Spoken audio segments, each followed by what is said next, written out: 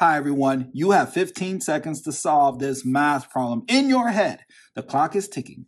15, 14, 13, 12, 11, 10, 9, 8, 7, 6, 5, 4, 3, 2, 1, 0.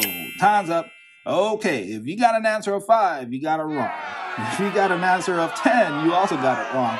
But don't click away yet. In this video, I'm going to show you how to solve this math problem correctly.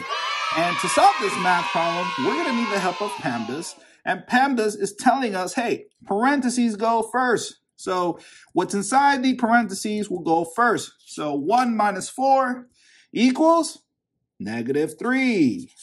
And then keep the parentheses, bring down the 4, then the subtraction symbol down and the 1 down.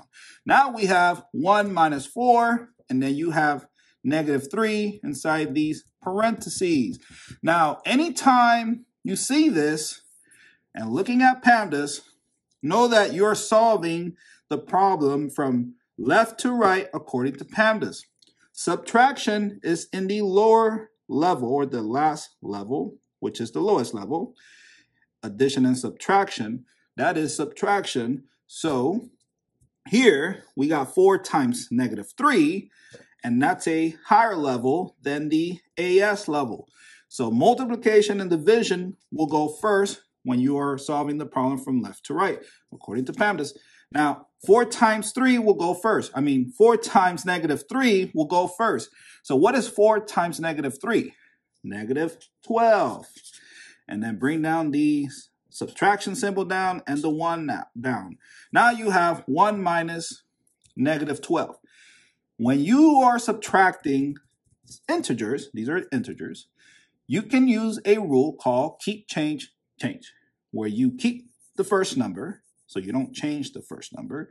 You change the subtraction to addition, and then you change the second number to its opposite. So negative 12 will change to a positive 12. So I like to use this chart. It's called a keep change chain chart.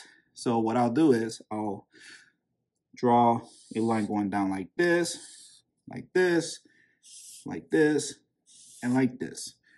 And to remind myself, K means keep, C change, and then C change. So we keep the 1.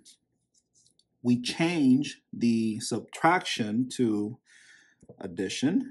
So it's a plus. And then you change the second number to its opposite. So it'll be a positive 12 or just 12. And all you have to do is just add 1 plus 12 equals 13. So your answer is 13. And there you go. Now, try to solve this problem. 1 minus 2, and then you have 1 minus 2 inside these brackets, or in other words, parentheses. Put your answer in the comment section down below, and thank you for watching, and I'll see you in the next video.